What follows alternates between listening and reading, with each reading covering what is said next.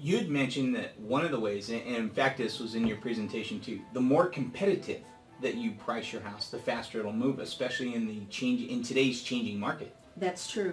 If you've got your house priced competitively, there are in certain segments, it is a seller's market. Not all of them, but still, you have competition. And if you're priced better than a similar house down the street, and all things being equal, they're going to go after that house that's priced better because everybody's still looking for a deal.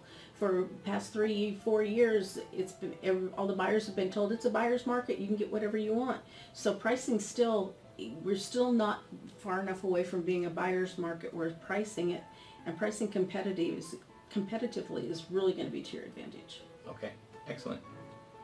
Because buyers have been told it's a buyer's market, that buyers are far more educated today than they ever have been. Oh, without a doubt.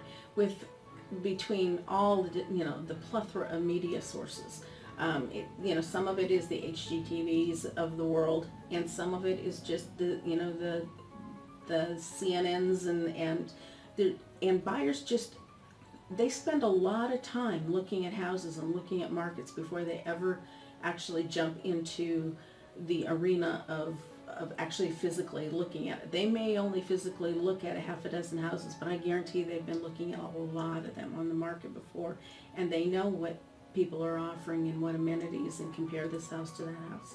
So yeah, they're much more educated than they ever have been before.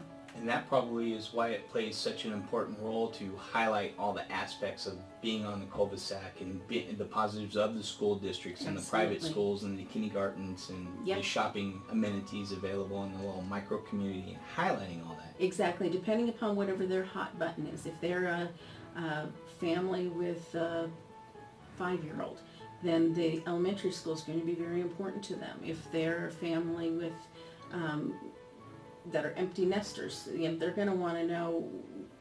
They're not going to care as much about the school district and want to know want to know more about the other social aspects um, of the community that offers for them now as empty nesters. And that makes sense.